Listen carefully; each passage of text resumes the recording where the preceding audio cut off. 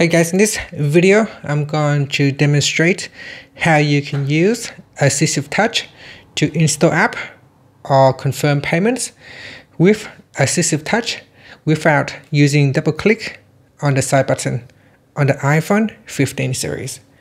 So you can see here, say confirm with Assistive, Assistive Touch. So first we need to set this up. Uh, to do that, first swipe up to go back to the home screen.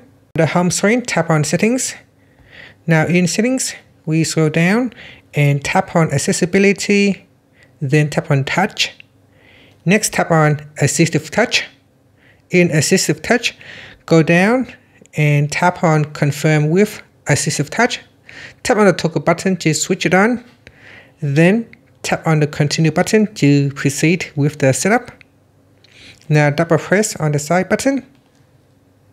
Then put in the screen passcode and double click on the side button again to confirm.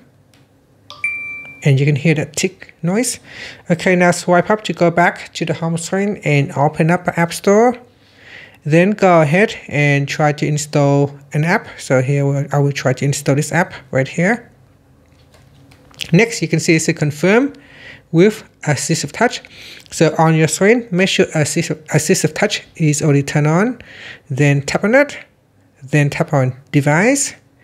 Next tap on more and try to locate the Apple Pay logo.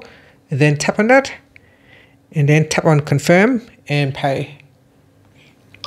And that's it. So that is how you can uh, confirm payments without double clicking the side button. Thank you for watching this video. Please like and subscribe to my channel for more videos.